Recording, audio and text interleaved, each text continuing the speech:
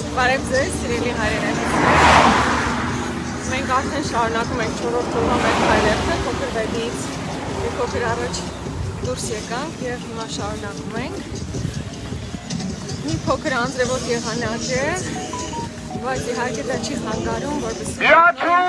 պայքար տրամադրվածությամբ շարունակենք մեր քայլերը, դեռ ավելի ավելի ողջորված ենք, որտեղ երեք երեկոյան են մեզ տարբեր մարզերից մարդիկ էին միացել խարույկի շուրջ ու ասացին, որ մայիսի 1-ին պարտադիր լինելու են մեզ հետ եւ Երևան մտնելու Այնպես որ նույն ողջավորվածությամբ շարունակում ենք մեր քայլերը։ Հիմա խորբիրապի հատվածները արդեն անցանք։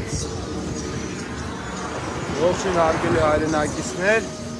ինչպես Աննան ասեց, մենք արդեն խորբիրապ համայնքից դուրս ենք գալիս մեր գիշերակացի տեղից, շարժվում ենք մեր ճանապարհով, անցնելու ենք Արտաշատ քաղաքի մոտով, ոչ ենք անում մեր Արտաշատի քաղաքացիներին, մեր հայրենակիցներին միանալ մեզ, միանալ մեր պայքարին, դուրս գալ փողոց, սա մեր իմ Աննայի կամ այստեղ քայլող քաղաքացիների պայքարը չէ միայն, սա բոլորիս միասնական պայքարն է, սա պայքար է հանուն Արցախի, հանուն Հայաստանի, հանուն հայ ժողովրդի արժանապատմության վերականգնման վստահ ենք մենք բոլորս միասին իրար հետ ձեր ձերքի տված բռունց դարձած հասնելու ենք մեր նպատակին։ Իմիջայլոց մի փոքր առաջ իմ կապանցի համակարգացիներից մեկը մոտեցավ, կանգնեց Երևան հիվանդանոց պետք է գնալ շտաբում ասաց չեմ կարող այս բանի միանալ, բայց մայիսի 1-ին նորից խոստովեց պարտադիր լինել Երևանում եւ այնտեղից շարունակել մեծ այդ քայլերը եւ եւ հատկապես ուզում եմ նաեւ դիմել կապանցիներին հասկանում եմ, որ նաև հերավորությունը մի փոքր այլ է, բայց մայիսի 1-ին մեզ հետ եղեք։ Մեզ հետ եղեք, որովհետև բոլորիս հարցն է սա, մեր երկրի անվտանգային հարցն է, իսկ կապանցին ամենաշատն է զգում այդ անվտանգային խնդիրներն իր մաշկի վրա։ Այնպես որ բոլորիդ հորդորում եմ, ոչ միայն կապանում այլ նաև Սենիկում, Բայազդորում, այսօր Բայազդորից նաև մեզ միացած հայրենակիցներ ունենք, Գեղեկ Նազումից, Այնպես որ բոլորով շարունակում ենք մեր քայլերթը։ Իմիջայլոց մի բան պատմեմ, այսօր առավոտյան մենք երբ պատրաստում ենք արդեն շարժվել, մեզ մոտեցան մոտեցան մեր հայրենակիցներից, քաղաքացիներից Այստեղ քաղաքացիներ ովքեր որ